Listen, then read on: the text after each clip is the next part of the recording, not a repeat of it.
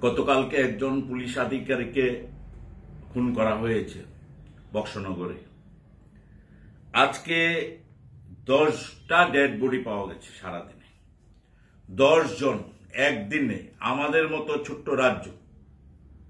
এই ছোট্ট রাজ্যে দশটা ডেড বডি আজকে রিকভারি হয়েছে।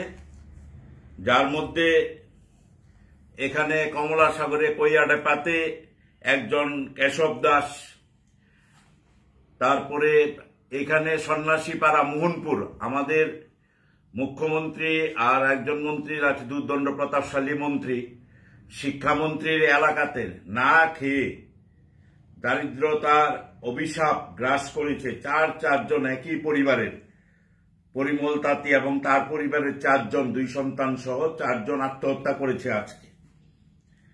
আজকে রাকেশ দাস প্রগতি স্কুলের এখানে। তাকে খুন করা হয়েছে, তার ডেড বডি রিকভারি হয়েছে।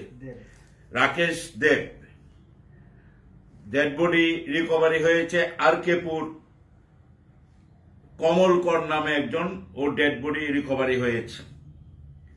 এখানে অ্যাক্সিডেন্টে দুজন মারা গেছে, গোবিন্দ দেবনাথ এবং জেমস দেববর্মা পেঁচার তোলে আজকের দিনে একজন সুইসাইড করেছে এবং তার আনআইডেন্টিফাইড বডি পুলিশ রিকভারি করেছে।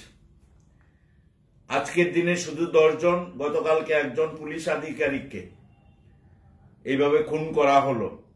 এই হলো রাজ্যের আইন শৃঙ্খলা, রাজ্যে সারা দেশে এই এমন অবস্থা কোথাও নেই।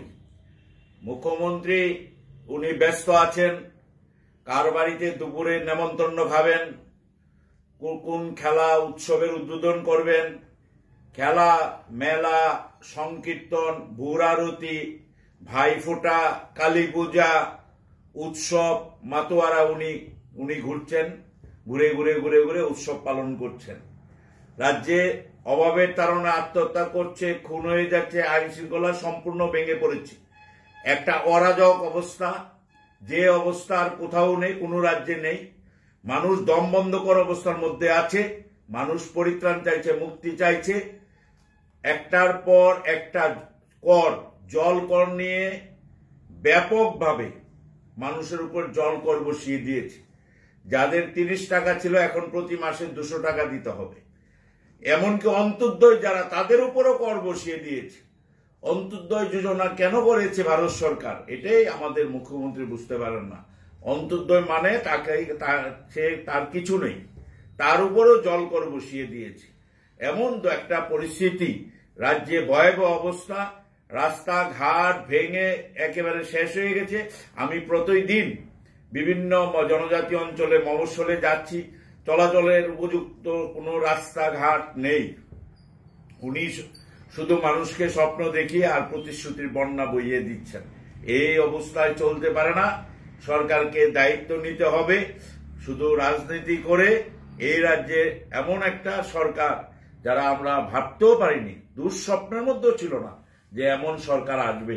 কিন্তু যে সরকার, এই সরকার যদি মানুষের পাশে আজকের দিনে না দাঁড়াতে পারে, এ রাজ্যের জনগণ কিন্তু আগামী দিনে ক্ষমা করবে না। যে অবস্থায় গত কুড়িটা মাস কেটেছে, আগামী দিনগুলো আরও ভয়াবহ অন্ধকারের দিকে নিয়ে যাচ্ছে। এই শাসক দল বিজেপি এবং বিপ্লব কুমার দেবের সরকার।